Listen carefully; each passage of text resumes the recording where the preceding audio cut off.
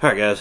I am sitting back in the classroom by myself right now, away from the general public, away from all of our customer base, and you're probably wondering why. Well, I have the worst case currently of the man flu.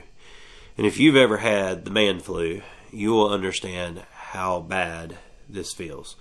Um, and so, just to keep myself, because I still got to work today, I can't get out of work today. But um, just to keep myself uh, kind of quarantined, if you will, um, from other people here in the general public, I'm going to stay back in the classroom most of the day because I've got a lot of filming to get done in the next month. So this is going to be a great time for me to brainstorm and do some camera work. However, in today's video specifically, we're going to talk a little bit about why you were taught during your open water program to never dive with a cold, when in reality, you actually feel better by going diving.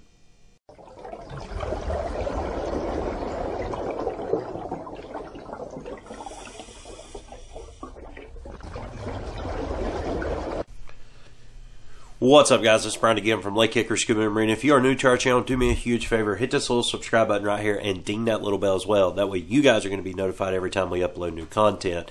Now, as I stated in the teaser, currently I am sick. I can't dive. I can't really do much other than just admin work here at the marina and dive shop. So that's kind of what I'm doing. Um, and I do want to kind of quarantine myself from everybody else because we've got a huge trip to Bonaire coming up. We've got about 25 to 30 people headed out next Saturday. So a week from what be tomorrow, we have a huge group going down to Bonaire and we're going to be doing recreational diving. We're going to be doing technical diving. We got a whole week of fun diving planned.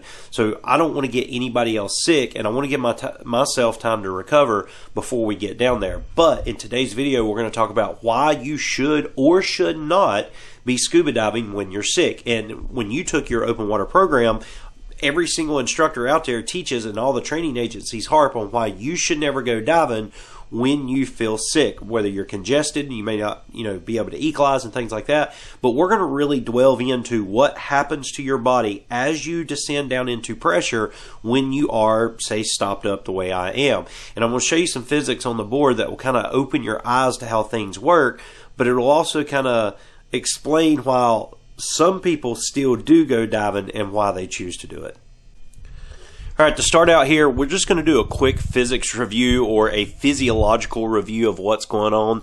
So basically, right now, I've got the common cold, the head cold, the man flu, whatever it is you want to call it. And here in my sinuses, this area is here, you know, above my eyes and below my eyes, they're full of mucus. All right, so I've just got all this stuffiness going on right now. And what that's doing is creating a lot of pressure that's pushing out. And if you ever had a head cold, you will know how bad this actually feels. And so all this pressure is putting out. I can barely breathe through my nose. Um, so I've got tons and tons of pressure going out. Well, we all understand that when you go underwater, we have to contend with what's called Boyle's Law here. And Boyle's Law basically says, you know, if you increase pressure, you're going to decrease volume. So here at one atmosphere, I'm under one atmosphere here at the surface. Every 33 feet, I increase my atmospheric pressure by one.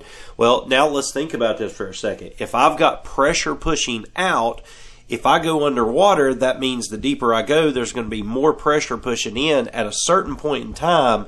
This is going to start to feel very good to me no, we shouldn't go diving when we got some type of head cold or some type of sickness or illness. However, it is going to feel good for me. And you would think, well, if that's the case, if it feels good because we're equalizing out that pressure, wherein lies the problem of why we can't dive when we're sick? And there's two things I want you to take away from this video that's going to resort back to this chart here, back to this uh, Boyle's Law chart, and hopefully it'll give you a better understanding of why you shouldn't go diving when you're sick. So, since we have equalized pressure going underwater, it does make you feel better. However, it does not change the fact that you've got all this mucus inside your nasal cavity or your sinus cavities.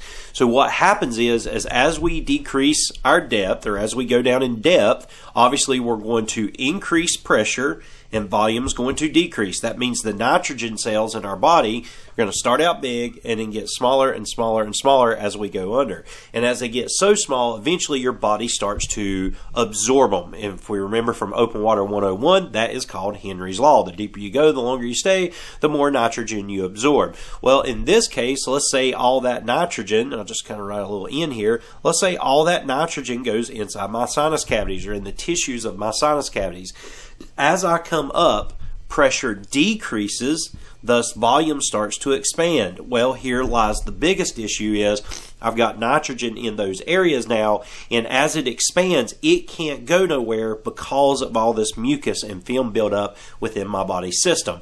Thus, we can have some type of barotrauma. So you got a little tiny nitrogen cell. As you come up, it gets bigger and bigger and bigger to where eventually it can rupture through your sinuses. So that's one of the major reasons we don't want to dive when we have a cold. Yes, it does feel better to you. You have pressure pushing out, you increase the pressure as you go down, it balances out, and it's going to feel good when you're under there. As a matter of fact, yesterday I was teaching a class, this is kind of how I knew I got sick, and I was having a little bit of difficulty equalizing, but I felt fine. My head felt fine. It's when I got out of the water that I started having a lot of problems. So, even though it does feel good to us, obviously we don't want to dive when we got a cold. Now let's go over here and let's look at the second part of this chart that we need to talk about. And let's talk about the physiological aspect of what happens when you take medication. So I can take medication to fix this, to get rid of all that stuffiness there as well. I can fix all this pressure build up in my head. I can take medication for that. However, depending on your body's tolerance to how that medication is going to react to you, it's going to also increase the effect of that medication at depth. So let's say you've got a medication that causes a lot of drowsiness. Well, as you go down in depth, as you go back and you increase pressure, you're also going to increase the effect of that medication. So if it causes drowsiness on land, obviously the deeper you go, it's going to cause even more drowsiness. And that's something that we have to contend with or we should be cautious of before we go out and dive. So as a quick recap, yes, it's going to feel better if you go underwater. Yes, the medication is going to kick in and work even better. However, the side effects of that medication is going to be even worse. And during the ascent phase of your dive, this is where all this stuffiness is going to prevent any of that nitrogen from escaping from your body.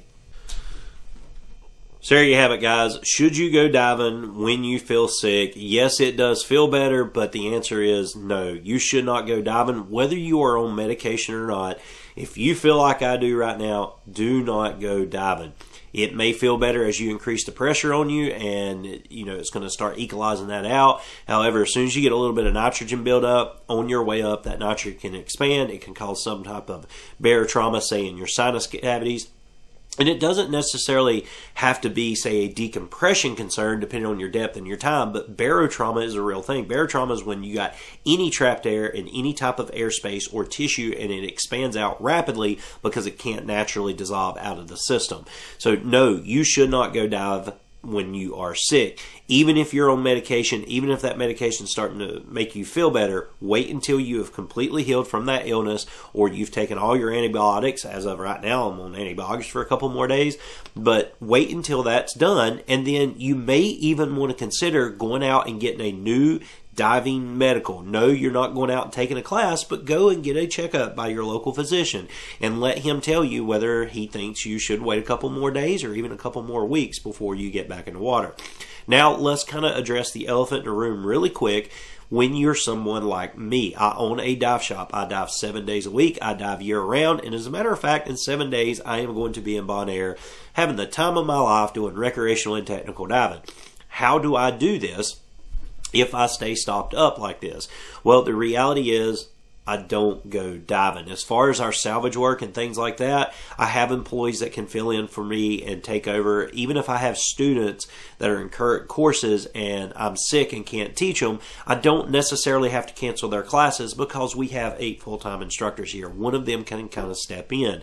Now, if the student doesn't want another instructor, they still want me, then that student's just going to have to understand they're going to have to be patient and wait until I feel better before I can get in the water with them.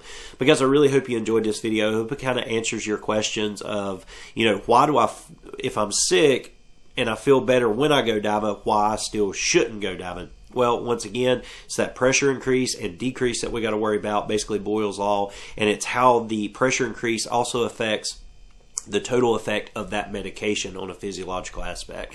So I kind of hope that clears up the things. Once again, guys, do what your open water instructor said. Do not go diving when you're sick. But guys, I got a few more days left. I do got to get packed up, so we are going to be doing a new packing video to show you how I travel which I've done plenty of in the past. I'll link them up top and down below. But this one specifically, I'm going to show you how I travel with recreational and technical dive gear. As a matter of fact, I'm personally taking four different regulator sets for my trip to Bonaire. And I'm going to show you how I can stay under the weight limit and how I do that. Even taken four members of my family where two of us actually dive. So we'll be taking all our dive gear and, of course, all of our luggage as well. But stay tuned for those videos that will be coming out next. Because I really hope you enjoyed the video. If you did, give me a big thumbs up. If you got any questions, comments, or concerns, drop me a comment down below and I'll try to answer it the best I can. But that's going to do it for today. Take care. God bless. And I'll see you in the next video.